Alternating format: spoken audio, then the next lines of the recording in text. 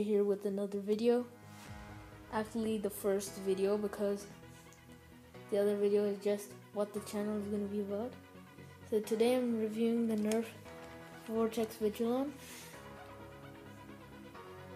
This comes in white, this zombie type of thing with this blood here, or green, which is just plain green, other than this orange.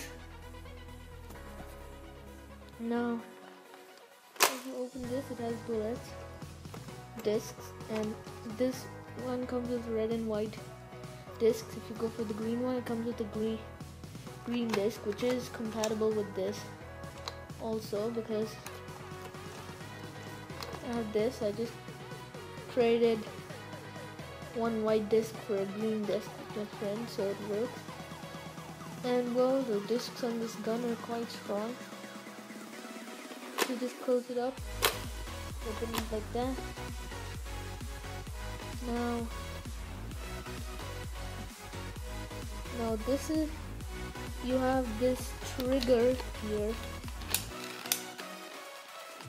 So guys, I'm holding the camera so I'm having trouble doing this. Ugh. I'll just be back when I pull the trigger now. Just press the button if you want it to fire. Oops, if something wrong happens, uh, yeah, just open it out. And alright, got some discs in there.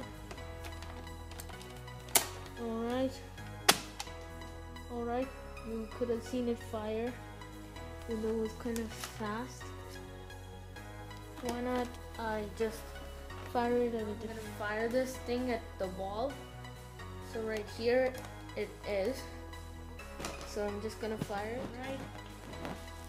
Pull the trigger now. Go.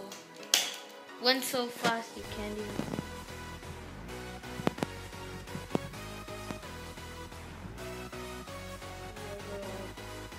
This Nerf gun is really good.